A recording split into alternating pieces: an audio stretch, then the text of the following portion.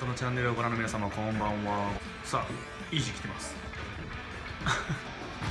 さあイージーをね今日は一緒にですねレッスン動画を撮りたいと思っておりますコメントにもあったようにですねジャグリングがちょっと苦手な方が多いそうなのでイージーにちょっとジャグリングのコツを教えてもらいたいと思いますじゃあじゃあイージーよろしくねはい。はい。じゃあジャグのコツを教えたいと思います。はジャグは手のひらで一回球をこうパンと。いそのままお手玉みたいななジャグリングだから。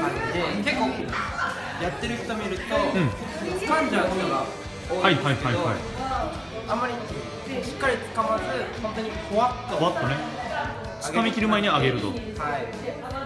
で僕は結構最初、うまあ、お皿からジャグの方がやりやすくて。ん。なるほど大皿に一回乗っけてからね。でやるときに最初手のひらだけで叩いてはいはいはいはいはい。練習を最初剣は離さずにな。はい、この球を叩くときに、うん。しっかりまっすぐ上げれるのがポイントなんで。そう実はなめっちゃ右とか左とかにそれたりするからな。こうまっすぐ上げる練習をしてなるほど。口で上げれるようになるとこのお叩く瞬間がすごいまっすぐいくのでおなるほど。かなりこれはポイントなしかも剣を回転させなあかんっていうポイントなこれを1回転きっちり投げる練習も最初そう球を別々に持ってな。はい、しっかりこの上から見ると分かるんですけど、球と剣を別のルートで同じ場所で上げるとぶつかっちゃうんでせやね。球は左剣は右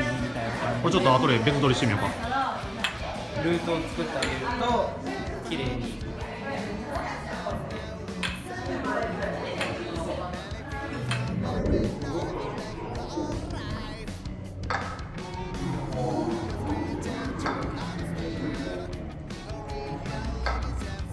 素晴らしい。2回やるときとかも、うん。このルートうんうんうん。確保してな。確保してオーケーオーケーやると2回3回やれる2回目の壁がめちゃめちゃ高いけどな実は。それは結構やっぱタイミング問題があるんで結構。ポイントとしては1回目のとこもう球結構上が上がるまで待たなあかんねんな。ジャブの基本はこう球が上がって落ちてきた時に投げる。落ちてきた時に剣を投げる。落ちてきた時に投げる。はいはいここでここですぐ投げるとついていっちゃう。はいはいはい球が上がって落ちてきたなるほどなるトーントントントーン。トントンなるほど。そう。球は常に左ぐらいにね。これ人によって右に行く人もおるんだけどな。そう。多いのはおお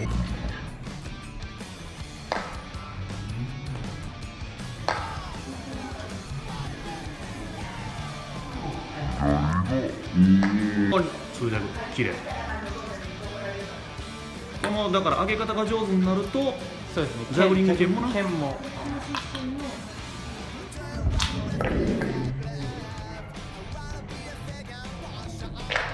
イエーイこんな風に剣からジャグリングして剣にも入れれると。はい。皆さんジャグ分かりましたでしょうか？ありがとうイージー。ありがとうございます。今日は特別講師イージーさんでした。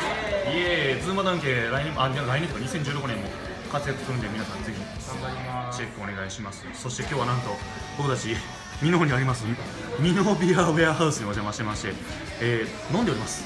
大ファンではーい。すミノビールの。なんとか飲んでたけどなんとかなったね。なんとかできましたね。あよく数字は決めれた。すごい。さすがイージーでございました。というわけで皆さん2016年もはい現場まで楽しんでいきましょう。乾杯